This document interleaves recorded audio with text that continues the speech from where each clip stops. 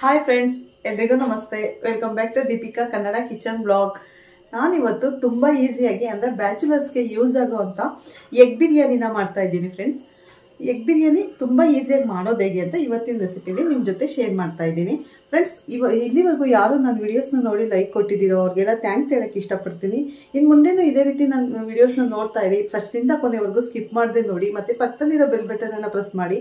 ನಾನಾಕು ಪ್ರತಿಯೊಂದು ವಿಡಿಯೋ ನಿಮಗೆ ನೋಟಿಫಿಕೇಷನ್ಗೆ ಬರುತ್ತೆ. ತಕ್ಷಣ ನೋಡ್ಬೋದು ಫ್ರೆಂಡ್ಸ್ ಹೊಸದಾಗಿ ನೋಡೋರು ಫಸ್ಟ್ ಸಬ್ಸ್ಕ್ರೈಬ್ ಮಾಡ್ಕೊಳ್ಳಿ ಫ್ರೆಂಡ್ಸ್ ಮತ್ತೆ ನನ್ನ ವಿಡಿಯೋಸ್ ನನ್ನ ಬ್ಲಾಗ್ಸು ನಿಮ್ಗೆ ಇಷ್ಟ ಆದರೆ ಖಂಡಿತ ಲೈಕ್ ಕೊಡೋದನ್ನು ಮರಿಬೇಡಿ ಫ್ರೆಂಡ್ಸ್ ಬನ್ನಿ ಇವಾಗ ಎಗ್ ಬಿರಿಯಾನಿ ಮಾಡೋದು ಹೇಗೆ ಅಂತ ನೋಡೋಣ ಇವತ್ತಿನ ರೆಸಿಪಿಲಿ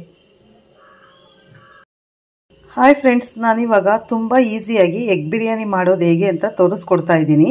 ಈ ಎಗ್ ಬಿರಿಯಾನಿ ಮಾಡೋದಕ್ಕೆ ಬೇಕಾಗಿರೋ ಇಂಗ್ರೀಡಿಯೆಂಟ್ಸ್ನ ನೋಡೋಣ ಬನ್ನಿ.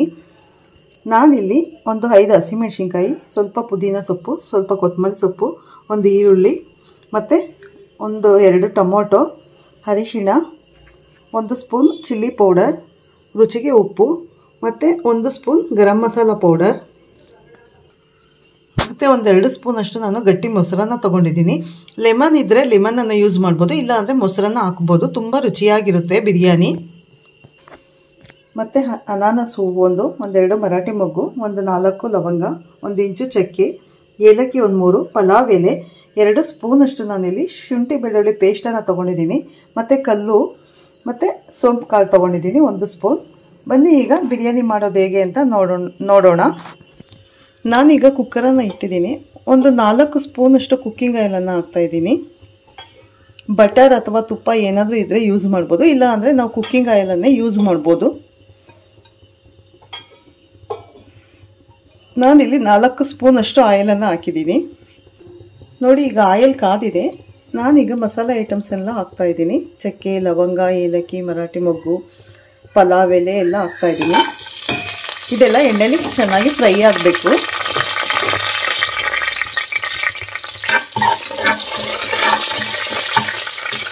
ಈ ಬಿರಿಯಾನಿ ಬ್ಯಾಚುಲರ್ಸ್ ಅಂತೂ ತುಂಬಾ ಯೂಸ್ ಆಗುತ್ತೆ. ಆರಾಮ ಆರಾಮ್ಸೆ ಒಂದು ಹತ್ತು ಹದಿನೈದು ನಿಮಿಷದಲ್ಲಿ ಈ ಬಿರಿಯಾನಿನ ರೆಡಿ ಮಾಡ್ಬೋದು ಬ್ಯಾಚುಲರ್ಸ್ ಆದರೆ. ಈರುಳ್ಳಿ ಮತ್ತು ಹಸಿಮೆಣ್ಸಿನ್ಕಾಯಿನ ಹಾಕ್ತಾ ಇದ್ದೀನಿ.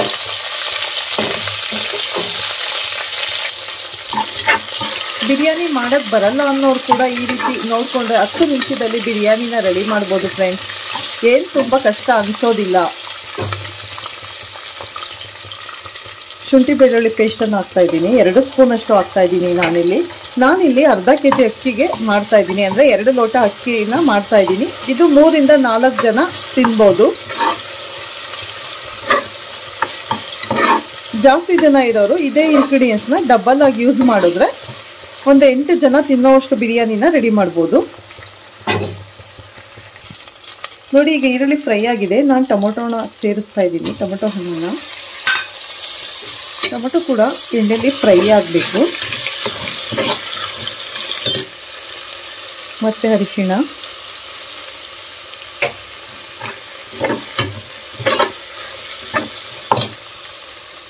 ಉಪ್ಪು ರುಚಿಗೆ.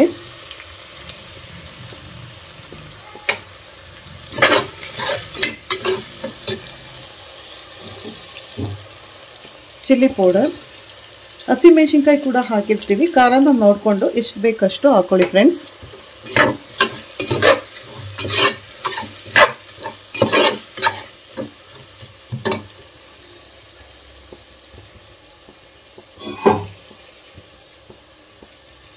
ಮತ್ತು ಗರಂ ಮಸಾಲ.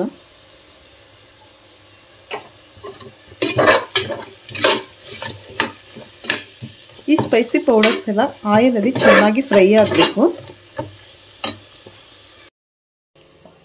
ನಾನು ಎಗ್ಗನ್ನು ಬೇಯಿಸ್ಕೊಂಡು ತೊಗೊಂಡಿದ್ದೀನಿ. ಒಂದು ಏಳು ಎಗ್ಗನ್ನು ತೊಗೊಂಡಿದ್ದೀನಿ. ಬೇಯಿಸ್ಕೊಂಡು. ನಾನಿಲ್ಲಿ ಒಂದು ಮೂರು ಜನಕ್ಕೆ ಮಾಡ್ತಾ ಇದ್ದೀನಿ ಫ್ರೆಂಡ್ಸ್ ಈಗ ನಾವು ಮೊಟ್ಟೆ ಕೂಡ ಫ್ರೈ ಮಾಡಬೇಕು. ನಾನೀಗ ಮೊಸರನ್ನು ಸೇರಿಸ್ತಾ ಇದ್ದೀನಿ ಇದಕ್ಕೆ.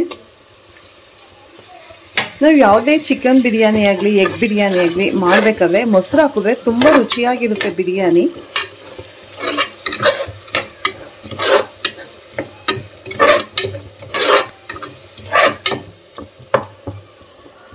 ನಾನೀಗ ಪ್ಯಾನನ್ನು ಇಟ್ಟಿದ್ದೀನಿ. ಒಂದೆರಡು ಸ್ಪೂನ್ ಕುಕ್ಕಿಂಗ್ ಆಯಿಲನ್ನು ಹಾಕಿದ್ದೀನಿ ಎಗ್ ಫ್ರೈ ಮಾಡೋದಕ್ಕೆ. ಎಗ್ಗನ್ನು ನಾವು ಫೋರ್ಕಿಂದ ಸ್ವಲ್ಪ ಈ ರೀತಿ ಇದು ಮಾಡ್ಕೋಬೇಕು. ತುಂಬಾ ಉಪ್ಪು, ಖಾರ ಎಲ್ಲ ತುಂಬ ಚೆನ್ನಾಗಿ ಅಂಟುತ್ತೆ.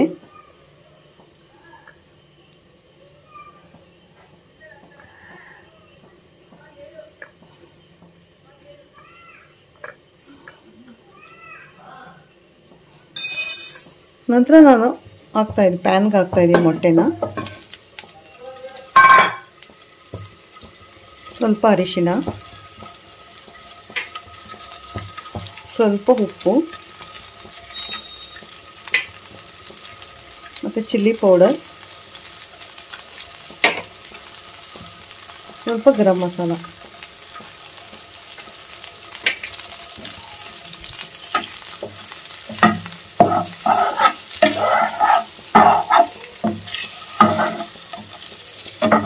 ರೀತಿ ಫ್ರೈ ಮಾಡ್ಕೊಳ್ಳೋದ್ರಿಂದ ಯಾವುದೇ ಕಾರಣಕ್ಕೂ ಬಿರಿಯಾನಿ ಒಳಗಡೆ ಮೊಟ್ಟೆ ಒಡೆಯೋದಿಲ್ಲ.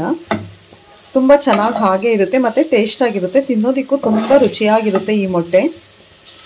ಈ ರೀತಿ ನೀವು ಮೊದಲೇ ಫ್ರೈ ಮಾಡ್ಕೊಳ್ಳಿ.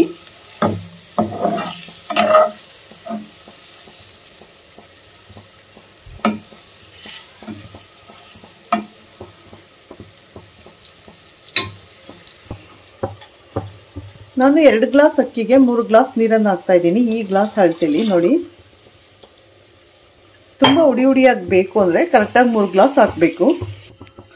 ಈಗ ನಾನು ಮೂರು ಗ್ಲಾಸ್ ನೀರನ್ನು ಹಾಕಿದ್ದೀನಿ. ಪುದೀನ ಮತ್ತು ಕೊತ್ತಂಬರಿ ಸೊಪ್ಪನ್ನು ಹಾಕ್ತಾ ಇದ್ದೀನಿ. ನೀರು ಕುದಿ ಬಂದಮೇಲೆ ನಾವು ರೈಸನ್ನು ಸೇರಿಸ್ಬೇಕು. ಇವಾಗ ಉಪ್ಪನ್ನು ನಾವು ಬೇಕು ಅಂದರೆ ಟೇಸ್ಟ್ ಮಾಡಿ ನೋಡಿ ಹಾಕೋಬೋದು. ಒಂದು ಕುದಿ ಬರೋವರೆಗೂ ಕುದಿಸ್ಕೋಬೇಕು ನೀರು. ನಂತರ ನಾವು ರೈಸನ್ನು ಸೇರಿಸ್ಬೇಕು. ನೋಡಿ, ಈಗ ನೀರು ಕುದೀತಾ ಇದೆ. ನಾನಿಲ್ಲಿ ಸೋನಾ ಮಸೂರಿ ರೈಸನ್ನು ತೊಳೆದು ಇಟ್ಟಿದ್ದೀನಿ ನೀಟಾಗಿ. ಎರಡು ಲೋಟದಷ್ಟು ಈಗ ಹಾಕ್ತಾ ಇದ್ದೀನಿ.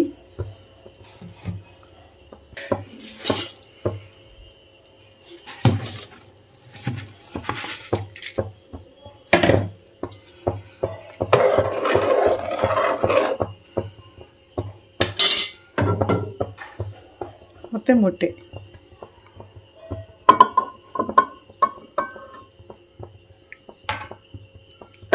ಈಗ ನಾನು ಕುಕ್ಕರ್ ಲಿಡ್ಡನ್ನು ಕ್ಲೋಸ್ ಮಾಡಿ ಒಂದು ವಿಷಲ್ ಕೂಗಿಸ್ತಾ ಇದ್ದೀನಿ. ನೋಡಿ, ಈಗ ನಾನು ತಣ್ಣಗಾಗಿದೆ ಕುಕ್ಕರ್ ವಿಷಲ್ ತೆಗೆದಿದ್ದೀನಿ. ಎಷ್ಟು ಚೆನ್ನಾಗಾಗಿದೆ ನೋಡಿ ಎಗ್ ಬಿರಿಯಾನಿ. ತುಂಬ ಈಸಿ ಆ್ಯಂಡ್ ಟೇಸ್ಟಿಯಾದ ಎಗ್ ಬಿರಿಯಾನಿ ರೆಡಿಯಾಗಿದೆ. ನಾನೀಗ ಬಿಸಿ ಬಿಸಿ ಪ್ಲೇಟ್ಗೆ ಸರ್ವ್ ಮಾಡ್ತಾ ಇದ್ದೀನಿ. ನೀವೇ ನೋಡಿ ಎಷ್ಟು ಚೆನ್ನಾಗಿ ಬಂದಿದೆ ಅಂತ. ತುಂಬ ರುಚಿಯಾದ ಎಗ್ ಬಿರಿಯಾನಿ ರೆಡಿಯಾಗಿದೆ. ಈ ಎಗ್ ಬಿರಿಯಾನಿ ರೆಸಿಪಿ ನಿಮಗೆ ಇಷ್ಟ ಆದರೆ ಲೈಕ್ ಮಾಡಿ ನಿಮ್ಮ ಫ್ರೆಂಡ್ಸ್ಗೆ, ರಿಲೇಟಿವ್ಸ್ಗೆ ಎಲ್ಲ ಶೇರ್ ಮಾಡಿ. ಹೊಸದಾಗಿ ಯಾರು ನಾನು ವಿಡಿಯೋಸ್ನ ನೋಡ್ತಾ ಇದ್ದೀರೋ, ಫಸ್ಟಿಂದ ಕೊನೆವರೆಗೂ ಸ್ಕಿಪ್ ಮಾಡದೆ ನೋಡಿ ಅಂತ ಕೇಳ್ಕೊತೀನಿ. ಪಕ್ಕದಲ್ಲಿರೋ ಬೆಲ್ ಬಟನನ್ನು ಪ್ರೆಸ್ ಮಾಡಿ ನಾನು ಹಾಕೋ ಪ್ರತಿಯೊಂದು ವಿಡಿಯೋ ನಿಮಗೆ ನೋಟಿಫಿಕೇಷನ್ಗೆ ಬರುತ್ತೆ ಫ್ರೆಂಡ್ಸ್. ತಕ್ಷಣ ನೋಡ್ಬೋದು. ಪ್ರತಿದಿನ ಹೊಸ ಹೊಸ ರೆಸಿಪಿ ಹೊಸ ಹೊಸ ವ್ಲಾಗ್ಸ್ನ ಮಾಡಿ ನಿಮ್ಮ ಜೊತೆ ಶೇರ್ ಮಾಡ್ತಾ ಇರ್ತೀನಿ. ಈ ಎಗ್ ಬಿರಿಯಾನಿ ರೆಸಿಪಿನ ನೀವು ಒಮ್ಮೆ ಮನೇಲಿ ಟ್ರೈ ಮಾಡಿ ಫ್ರೆಂಡ್ಸ್ ಹೇಗೆ ಬರುತ್ತೆ ಅನ್ನೋದನ್ನು ನನಗೆ ಕಮೆಂಟ್ ಸೆಕ್ಷನಲ್ಲಿ ತಿಳಿಸಿ. ಈ Sunday special egg biryani recipe ನಿಮಗೆ ಇಷ್ಟ ಆದರೆ ಒಂದು ಲೈಕ್ ಕೊಡೋದನ್ನು ಖಂಡಿತ ಮರಿಬೇಡಿ ಫ್ರೆಂಡ್ಸ್ ನನ್ನ ಚಾನಲ್ಗೆ ಸಪೋರ್ಟ್ ಮಾಡಿ ಅಂತ ಕೇಳ್ಕೊತೀನಿ. ಮತ್ತೆ ನಾವು ನೆಕ್ಸ್ಟ್ ವಿಡಿಯೋದಲ್ಲಿ ನೆಕ್ಸ್ಟ್ ರೆಸಿಪಿಯೊಂದಿಗೆ ಸಿಗೋಣ. ಅಲ್ಲಿವರೆಗೂ ಎಲ್ಲರಿಗೂ ಟೇಕ್ ಕೇರ್ ಬಾಯ್ ಫ್ರೆಂಡ್ಸ್